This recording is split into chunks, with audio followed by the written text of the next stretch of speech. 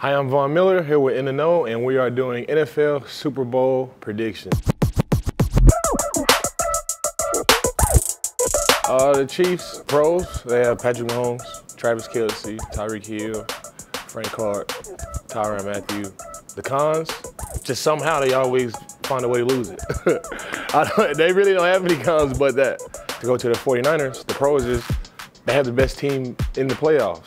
The cons are in tournaments, it doesn't always go to the best team in the tournament. It should really make for a really exciting and a really fun Super Bowl. Thank you guys.